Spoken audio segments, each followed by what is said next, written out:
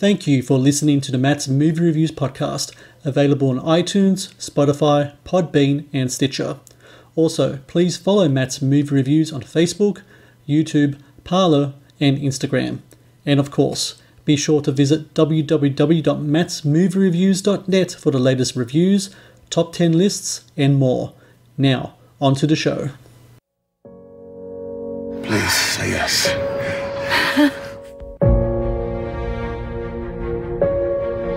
It's heaven. There you are! More radiant than ever. Oh my god. Still spoiling her, Milton. I am in a position to help financially. I can look after us. Don't be too proud, Will. I had twins, didn't I? Just one beautiful boy. No, I had twins again, I saw. They're lying to me. You didn't take my baby. Hello, and welcome to the Matt's Movie Reviews podcast. I am your host, Matthew Perkovich, and this is episode number 304. Out today on DVD and digital is The Bay of Silence, a psychological thriller that stars Claes Bang and Olga Kurylenko as a married couple who must contend with the ghost of the past after the death of their newborn child. Featuring powerful performances and an engrossing story, The Bay of Silence also holds an important message about how silence regarding mental illness can lead to tragic results. Joining me now on the Matt's Movie Reviews podcast is the writer and producer of The Bay of Silence and an acclaimed actor in her own right, Caroline Goodall. Caroline, thank you very much for joining me on the podcast. Oh, thank you, Matt. I'm really, really grateful. Um, as uh, you know, we were saying earlier, just before, um, you know, I'm really sad I can't be in Australia to see all my family and friends and have my red carpet moment with them and to celebrate. And it's also my mother's birthday today. Uh, so a huge shout out to her. Um, and uh, just really grateful to be talking to you. And it's very surreal to be rolling this out from my kitchen table in Italy. Trust, I've been talking to a lot of filmmakers from all around the world, and it, the the feelings are very mutual. It's just a, such a surreal experience, but it's also a good thing to have a movie out um, as well for people to watch, um, especially a movie like Bay of Silence, which I think is just uh, such a great film. And I, I really want to talk about. Um, it's based on a novel by Lisa St. Aubin de Teran, and I, I was really interested. What was the first time that you came across uh, that novel yourself? It was actually n- a number of years ago. Uh, I was in Italy and um, I was filming Cliffhanger, actually. So it was a very long time ago. And uh, the book had been published. She was a very well known writer at the time. A lot of people were trying to make movies of her work, such as Slow Train to Milan, um, for a long time. And uh, she has a wonderful way of writing. It's very haunting, very visual. And the Bay of Silence is a place in Italy, uh, La Baia del Silenzio, in a little town called Sestri Levante, which is uh, right at the beginning of the famous Cinque Terre in Liguria. And it's utterly beautiful. And uh, I was there, stopped there on my way down to Rome, actually. And uh, uh, was reading the book, um, and uh, it was just beautiful place to read it in. And I was so taken by the story. It's very character driven. Um, and uh, the story is about a couple, and the central question is for me that grabbed me is what happens when you fall so much in love that you're prepared to not look at clues that point to the fact that your partner might be a very different kind of person mm. to the one you expect. And how far will you go for love? And that is the central dilemma in the film. Um, but at the same time, the book was quite contemplative and also written from both points of view. And I toyed at the idea of writing something that could possibly be long form television series, but then um, felt no, it needs to be more of a mystery thriller. And because the lead character of Rosalind is um, schizophrenic, uh, that's not a spoiler, um, ultimately, and traumatized from her child, um, she's not exactly. Um, someone who you can rely on as a narrator. So I decided that it would be more interesting to go through the eyes of Will, who is her husband, um, even though the film is, especially now, extraordinarily contemporary. It's Me Too themes, uh, it's about motherhood, um, it's about family, um, and sexual trauma. Uh,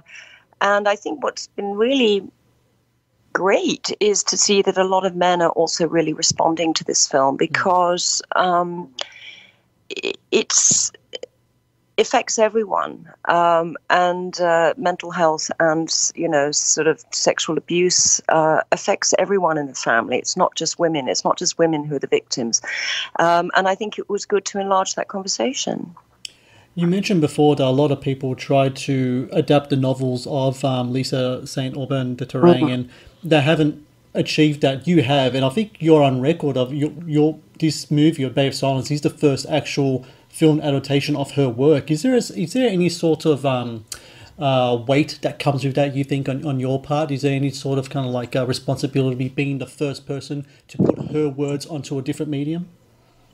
Oh Lord. she's an amazing person, and uh, she was just so supportive. Um, she actually uh, was living in Italy as well, and uh, I did manage to get to meet her, and I have known her for some time, and uh, she she just said, just take it away, do what you can with it, um, and let me know. And, um, you know, there were a lot of kind of twists and turns. And there was a moment when I lost the rights to the book. And of course, you know, as an actor, there were a lot of other things going on in my life as well. And uh, so I'm just really, really glad that I was able to continue and persevere. There are some things that just itches that you mm. can't stop scratching. And for me, this this book was it. Um, I really love the work of Nick Roeg and Polanski, and I just had that feel for me of Don't Look Now, and also George Sluizer, The Vanishing, mm-hmm. um, deal with very similar themes. And these are films that I grew up with, and I wanted to see made, and I didn't see enough of them being made. And uh, so uh, that was kind of one of the impetuses. Um, I must add, actually, and I just want to give a shout out to um, Sue Maslin and Joss Moorhouse and PJ Hogan and Rebecca Gibney and Joanna Murray Smith. All fantastic, amazing creative Australians uh, who championed me actually and gave advice and help because in 2014 I was shooting The Dressmaker. Yeah. And I was actually staying with Joanna and her family in Melbourne. Um, and um, you know, commuting to the set, and it was just such a wonderfully inspiring set of women. Uh, you know, woman director, woman producer, you know, this great ensemble cast. Um, and uh, it was at that time that I thought, I'm really going to do this. And I talked to Sue about it and asked her, How did you put the dressmaker together? Um, and uh, she gave me a lot of advice. Um, and so it's I'm just really thrilled that the movie's coming out in Australia now. You know. You mentioned before about how The Dressmaker had a, female director, female producer. Same thing with your film, The Bay of Silence. Your director, yeah. Van uh, um, der Oest, uh, Danish filmmaker. Um, how did she no, she's, She's actually Dutch. Dutch. Sorry. Apologies. Um, okay, so we have Claes Bang is Danish, yeah. and I do have a Danish, a wonderful Danish executive producer, Peter Gard, who uh, was probably, I would say, my kind of financial plan guru. He founded Zentropa with Lars von Trier, and I thought, my God, if the Scandies, who are so big on Scandi noir, and you know that was sort of taking over the world, I thought if he's interested, mm. then you know I'm definitely onto something. So yeah, we do have the Danes, don't worry, um, but she's Dutch, um, and uh, yeah, I, you know, I I'd been putting. Uh, female director names in front of my sales agent for for a year or two, um, and they just mm, no value. Yeah. You know, who else have you got? And it really was after Harvey Weinstein, I think, in two thousand and seven. Yeah, it was. Yeah, it was the end of 2017, wasn't it? Um, and we were at the EFM just at the you know February 2018, and still I'd had a director who unfortunately had to fall out because uh, he was offered an enormous job, and you just have to accept that. And uh, my sales agent said, "What about a woman?" And I just looked at him. I was like, "Yeah, I've been trying to tell you this for a while." Yeah. Uh, and uh, suddenly, you know, everything was the doors were opening, and it was just great. So I thought, let's just slip through this one fast. And Paula had met about a year before, and I really loved her film Tonio and Black Butterflies, which um, were very right for my film. Tonio is about the loss of a son and what happens to the couple, uh, except he's older, he's a teenager. And um, Black Butterflies is about um, a poet and mental illness. So I thought she really has all the tools at her disposal to be able to tell this story. And Paula very kindly read it, and then she said, Yes, I'll come on board. And at that point, we moved very, very fast because we also had the actors who were waiting, and we had that window of opportunity because they were extremely busy. And of course, uh, Brian Cox as well. Can't forget yeah. Brian, who had Succession that he had to to go back to. So you have your cast, you have your director on board you are a low budget film and you have all these mm. different locations you have to film on as well. Um, when it comes to not only as a screenwriter but also as a producer on a movie as well, how do you approach uh, the work, as in working with your filmmakers and with your actors? Do you collaborate, or is it simply a t- thing of delegating the task, getting the um, filming wrapped up as, qu- as quick as you can um, and in the can and get into post? Because I imagine that post production, above all else, especially considering a movie like this, I th- I'd imagine that a lot of it uh, will be made in the editing suite.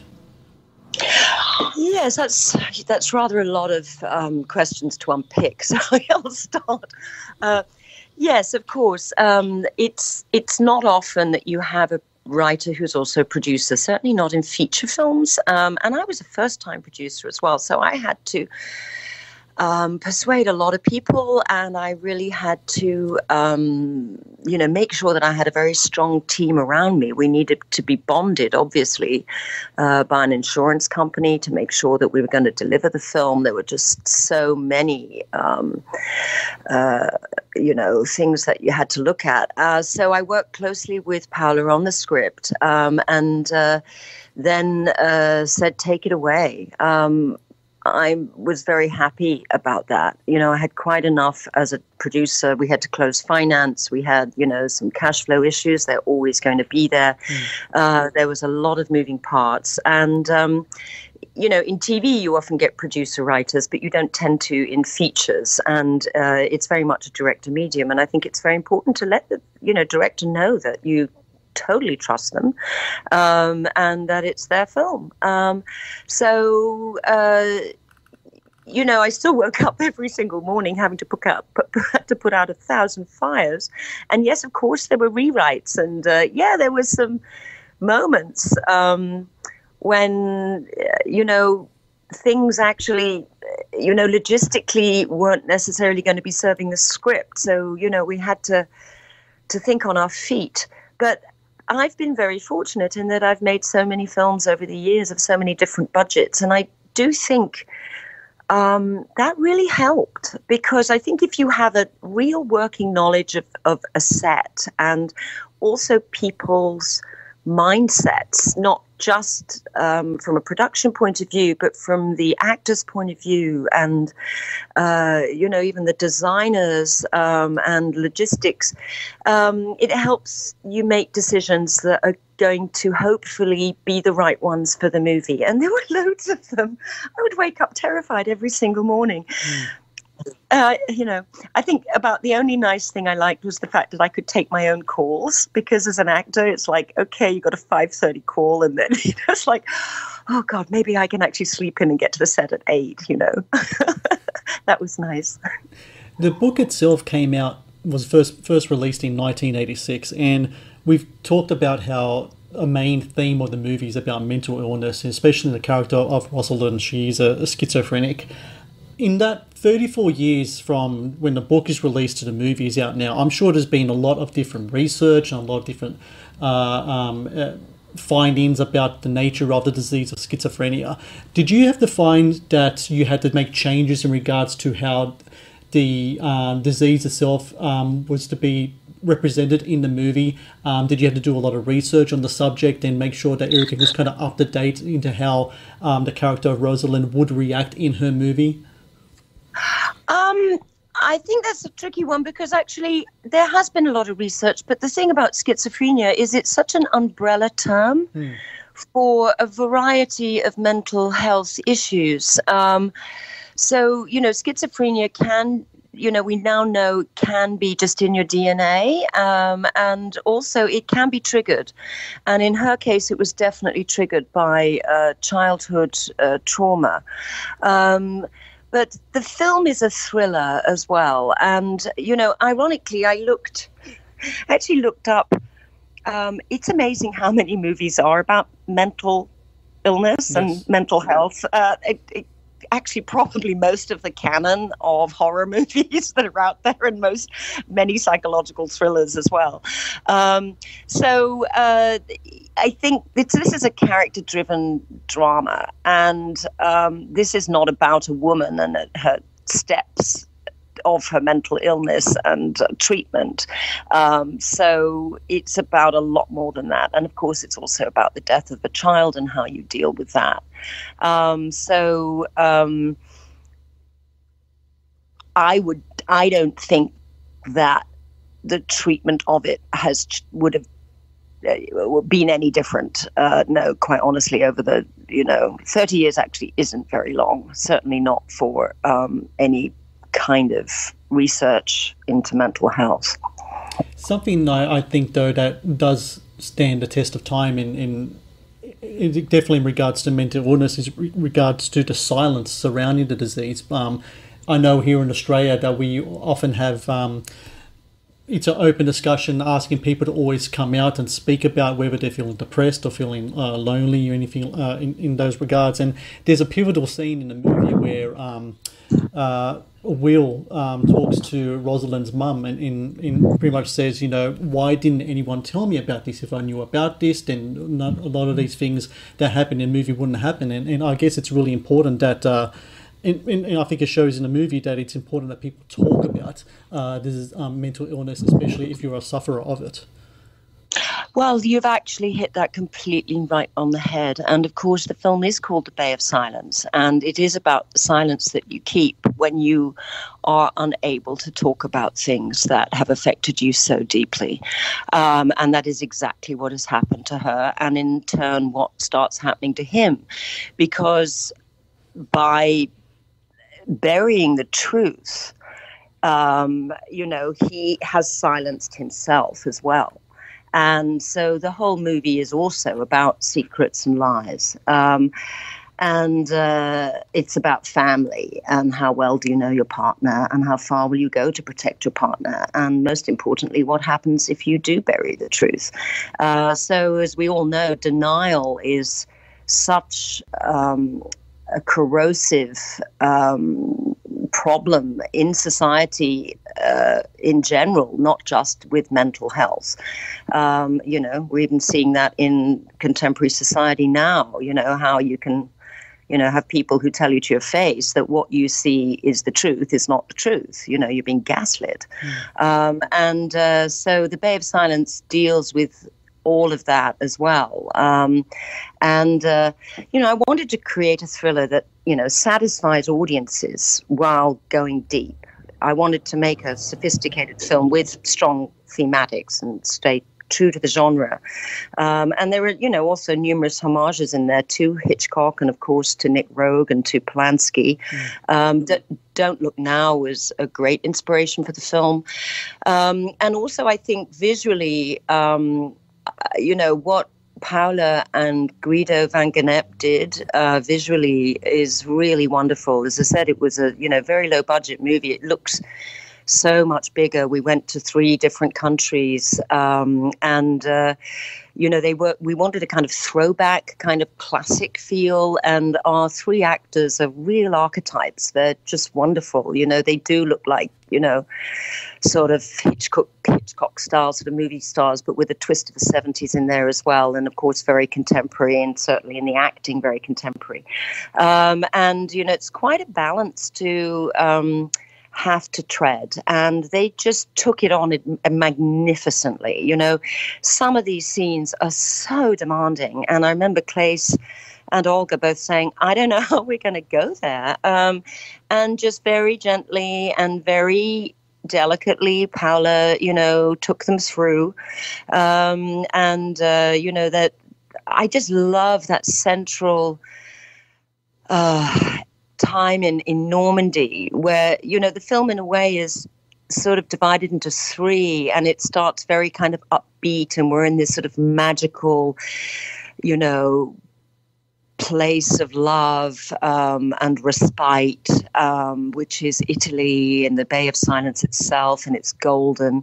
And then you move into London, where, you know, it's kind of busy and vibrant, and, you know, their life is upbeat. And then by the time we get to that central time in Normandy, we're moving into a very gothic kind of place, and um, the lensing gets darker. And actually, we found this amazing house up on a cliff. Uh, it was actually St Abbs up in Scotland, uh, which is which. Um, we had uh, we had Scotland doubling for Normandy, and all these seagulls constantly wheeling around and you know screeching and screaming, and uh, you know these kind of jagged black rocks um, and it just was so kind of psycho and Hitchcock of the birds that it was just so perfect. And, you know, those tropes were there on purpose. You know, you, you know, the audience is incredibly sophisticated and we're saying, with us uh, into, we're now going down a rabbit hole and we want you to follow us.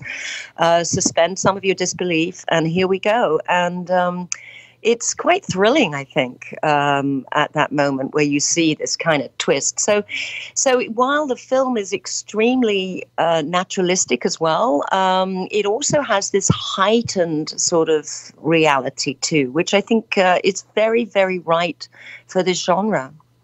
It is very right for the genre and it is a fantastic film. So everyone out there listening, The Bay of Silence out on DVD and digital. There's actually a website everyone can go to as well, the bay bayofsilencefilm.com and that has a link there for all the different places you can watch online and I really do recommend everyone watch it. Uh, the performances especially are fantastic in this film. And Caroline Goodall, I thank you very much for your time today. Congrats with the movie and um, hopefully we get to talk again in the future with future projects. It's been an absolute pleasure to talk to you today. Oh, thank you, Matt. I'm really, really grateful. Um, and uh, yeah, I hope I made some sense. it was fantastic. Thank you. Okay. Thank you. Bye. Bye.